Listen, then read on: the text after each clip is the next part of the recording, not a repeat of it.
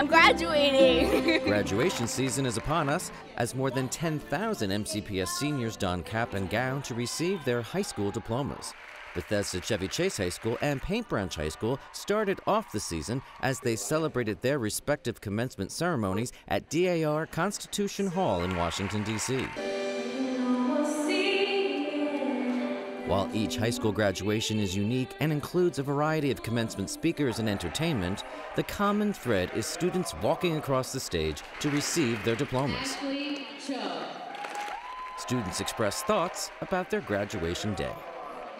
I am a senior who just graduated from BCC and I'm really excited. I'm shocked right now. Just so many feelings going down through my body right now. I don't know how to express it right now. Um, happiness, relief. It feels like just a couple weeks ago I was a freshman, but now I'm here. My cousins and I are actually like one of the first generation that's graduating in the U.S. because the rest of my family are in, in, Vietnam. So it's a big accomplishment for us. It's an extraordinary feeling. We're on our next chapter right now. Uh, it's just, uh, you know, it's just been, been a blessing right now.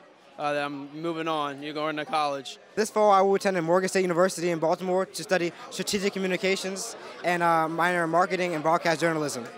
I'm majoring in psychology at uh, UMD. I'm going to uh, Stevenson University to play baseball.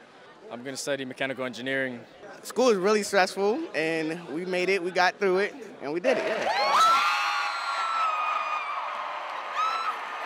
Parents and students are invited to submit their favorite graduation snapshots to share on MCPS social media by sending photos to hashtag MCPSGrad or to PIO at MCPSMD.org.